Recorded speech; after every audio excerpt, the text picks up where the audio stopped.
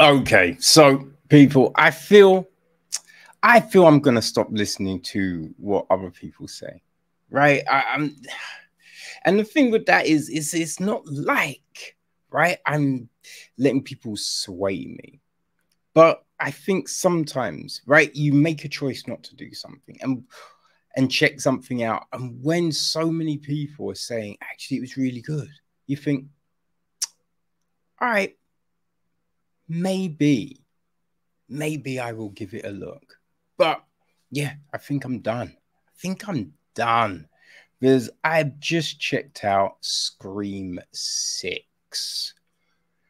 Okay, so the new entry to the obviously the Scream franchise, right? Which is boy, this is old. This has been going for a long motherfucking time, yo. You know what I mean? this first when did I, I was trying to even remember when the first friggin' film trailer 96 all right 96 was when the first one hit um yeah it's been a while right now there was Scream 5 last year which I think believe went well. So obviously they decided to do a new one. Now this is from Matt Bettinelli Olpin and Tyler Gillett, okay, aka Radio Silence, written by James Vanderbilt and Guy Busick. The film is produced by James Vanderbilt, William Sherak, Paul Neinstein. It is executive produced by Gary Barber, Courteney Cox, Cathy Konrad, Ron Lynch, Marianne Maddalena, Peter Oillataguerre, Chad Villella, and Kevin Williamson. Sven Faulconer and Brian Tyler handled the music. Brett Jutkiewicz, cinematography. Jay Prychidny edited the piece, while Rich Delia handled casting duties. Production design is from Michel Labarette art direction. We have Maffeo Gigeri, Philippe Lord, and Veronic Veronic Munier. Right, set decoration Vincent Ad, Suzanne Clouter, Louise Dandenu, and Lee Valerie Letourne. Costume design is Avery Plows. So our cast, we have got Melissa Barrera as Sam Carpenter, Jenna Ortega as her younger sister, Tara Carpenter, right? Um, Jasmin Savoy Brown is back as Mindy Meeks Martin, and Chad Meeks Brown, her brother, is again played by Mason Gooding. Right, we've got um, Courteney Cox as Gale Weathers. There is um, Jack Champion as Ethan Landry, who is Chad's roommate. Um, Liana Liberato is Quinn Bailey, and that is Sam and Tara's roommate. We then have got Hayden Panettiere back as Kirby Reed. Right. Um, Samara Weaving plays Laura Crane. Dum, dum, dum. Dermot Mal- Mulroney is Detective Bailey, Quinn's dad. Who else do we have? Uh, Tony Revolori plays Jason Carvey. Um, Andre Anthony plays Frankie. Matthew Guffadia plays Paul. Um, Dr. Christopher Stone is played by Henry Czerny. Thomas Cadrot plays Brooks. And do do do oh, Skeet Ulrich appears as Billy Loomis and Jack Quaid as Richie um oh, whatever homie's name is. Richie uh gosh. Kirsch. That's it. So, yes, they pick up those roles as well. Now, the gist of the film, right? So, it says it picks up after the events of Scream 5 with Sam, Tara, Mindy, and Chad having relocated to New York to try and move on after surviving the most recent ghost faced attack. However, they soon learned that the big city isn't big enough as a new iteration of the killer is out to get them. Oh, I should also say that the voice of Ghostface is Roger Jackson. So yeah, that's uh that's the gist, right? That's the gist. Now, I've watched the first two right? Watch the first two. And, you know, Scream was the first meta kind of, oh, let's look and laugh at ourselves type of horror film, if I recall. So it was like, okay, that's fine. I remember watching Scream 2 and just being like, okay, I can't. I can't. So I haven't checked out three, four, or five. And I think watching six, it reminded me of the reasons why I haven't checked out those previous screams. Oh my gosh. Now, it starts off, right? It, it, it was this was a big thing. I, I'd heard that this does things differently, right? It's adding different things to the mix. So I'm like, okay, okay and we start off and this whole killing there's a, killing at the beginning right? Obviously. But ghostface takes the mask off and you're like okay something ain't because it doesn't make sense for us to know who fucking ghostface is from jump right? That's gonna spoil it.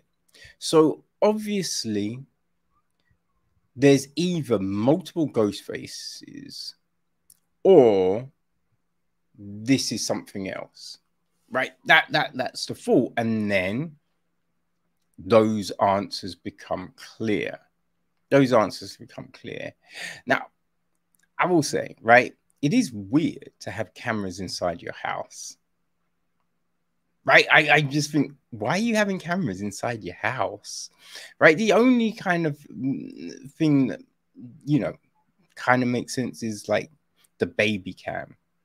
But that's usually a portable thing, right? So you move it around wherever the baby is, you put that so you can monitor. It's not just fixed in one room per se. So yeah, there's a bit, there's multiple camera, and yeah, weird, kind of weird, kind of odd. But we have all of these people that have been in multiple situations, multiple situations.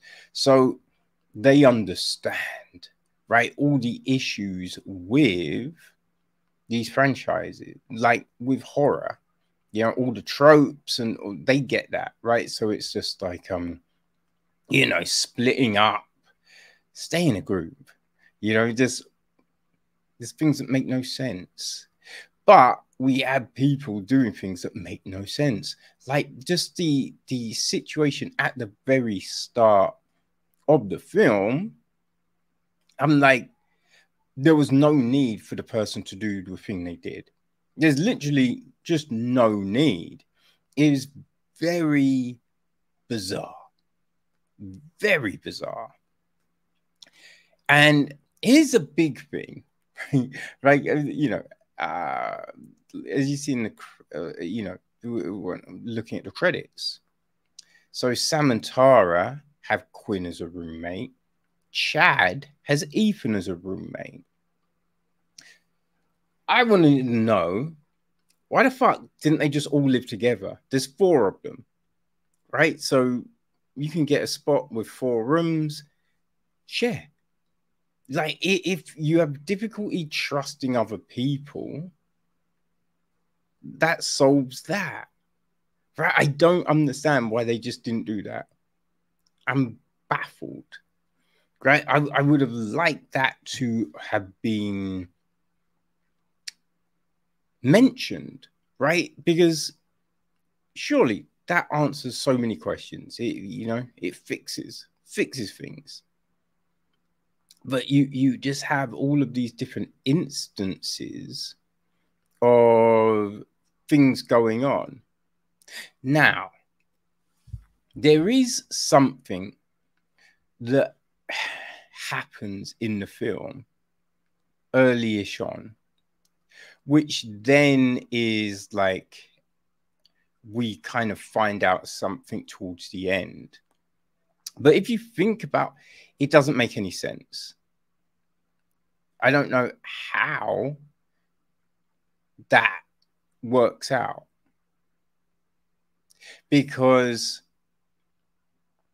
yeah, it, it, it's just like it doesn't really make any sense. It doesn't make any sense because you wouldn't you wouldn't have to do it. Yeah, it, it's just a weird thing, but I can't talk about it. But it's just one instance early on in the film that we then get clarification on towards the end of the film, people. That's all I can tell you. But yeah, there's just a lot of these, a lot of these things. I think one of the big reasons was I saw a clip of this film, and Ghostface uses a gun, which again, that seemed different, right? And you just think, yeah, that's more economical than the knife, right? Easier. You think that's what a killer would do. Use a gun. Say wood is not a good defense for a gun. Bullets can go, well, will pretty much easily go through wood. So there's a, there is bits where people jump behind like wooden things. It's just like, no, no, no, it's not going to help you. That's not going to help you. you know, just, I think it, it, it's just the, the like the situation, like traveling. There's a bit when they're like, oh, travel in public because that makes it you so you'd be safer. And it's just like how how does that make it safer? If you're in a huge group of people, it would be easy for you to get, you know, murked. Is not because you're so cramped together, no one's necessarily going to know if you're, uh, you know, as long as you're not screaming out. But even someone screaming, weird people scream. So it's, it's not like, you know, I mean, living in a big metropolis, like it's something you've come across before, just people suddenly start screaming for no reason. So even that, not necessarily going to get people like, what's going on? What? You know, so like you just think, no, no, no, we will all drive together. That is the safest fucking way. You know what I mean? Like, yeah there's some there's, there are some real goofy goofy things happening. Or let's go to this location. That will be good. Be like how how would that be that doesn't make any sort of sense. Uh, like obviously we get this big twist at the end which there's an aspect of it that isn't that surprising and it is some it was something I was mulling over Now, I will say the other components of it are, but that's more from some lying with the camera. I, I, don't think it was necessarily the story that was made you go, oh shit. But no, it was just literally the way it shot because they're showing certain things in certain places, which then makes it impossible for someone to have done something. But then they're like, oh, but they did that thing. So you're just like, hmm, yeah, I don't know about that. That's weird. That's weird. Acting is fine. It's nothing like sensational, right? No, like no performances where you're like, yo, I felt those emotions. You know, because this is just teens. I can't do that. Oh, oh, you you shouldn't have said. Ah, oh. but it's all of that, right? So we're not getting anything like, yo, you just rocked my world with that performance, son. So it's fine. Like cinematography, all of that, it's it's fine. Right? We go a little crazy on you know flickering lights and and that kind of thing. I, I, I imagine if you're a huge fan of the franchise, if you like those films, this will be work for you. So any of the screams, you know, I know what you did last summer, scary movie, anything like that will have you with this. But I it was it was trying to be way too clever, I felt. And now we're all getting the whole it's a legacy film. It's not just a franchise, it's a legacy film, right? Which means this and this and this. You know, it's just like, oh, even main characters could die, right? And we just get all of that. And the way everyone's talking about it, you're just like, what the fuck? Huh? You're not all talking about it, it's like those things, you know, like with Dawson's Creek, where everyone talks the same. And you're just like, not you, you don't you don't get a friend group where everyone is a complete mirror. Now you can get people who pretend to be mirrors, like politically, be like, oh yeah, I believe in that, but they're not exactly the same. Where everyone is like, oh yes, if this was the sequel, then but but but you're just like, what the fuck are you talking? This is moronic you all going, oh yeah, if it's a franchise, that means this person could be. And you're like, yo, chill, chill. Like even the end credit scene, trying to be too smart, right? But you're like, but you just did the thing that you were trying to mock. Where if you were real smart, it would have been straight away right? You're not leaving it to the end. You're doing it literally straight away. You know what I mean? Like end. Nah, not quite. Boom, end. You know, roll credits. That's the thing. It's just like doing it the way you did it. You're not really being meta. Like you're not really trying. You're not being clever. It's just pointless, right? Just pointless. And people, you don't need to watch it, right?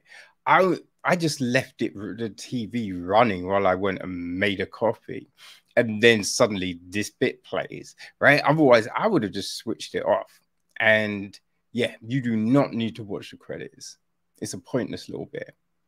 But hey, I was you know as I said, I didn't watch Scream Five, so I don't know how much of this was done in that film right? I, I don't know any of those things, like the character dynamics or anything like that. I don't know if people what sort of wounds people survived, because yeah, there's certain things you think you know you're not surviving that, but I don't know. I do not know. Yeah, I regretted watching this. It is clearly not for me. it's not for me. It felt very long, right? It is, um, yeah, just over two hours. It just, it felt longer. Ain't gonna lie, people, it felt longer. But yes, if you like the previous screams, right? I know what you did last summer. Just those sorts of films, even stuff like Final Destinations, right? Those teen horror films that want to be mad clever. If that is your bag, Scream 6 could very well work for you. It could work for you. And obviously, it's being set up for a seventh. I think I did hear that it has been green lit, right? And there's a lot of things going on in this film which are like pointing for a certain thing to happen. Which, if that happens, oi, no, no. But I won't be watching Scream 7. I ain't falling for this trap again, motherfuckers. All right. But yeah, Scream 6, it's out. It's on streamers. So yeah, enjoy.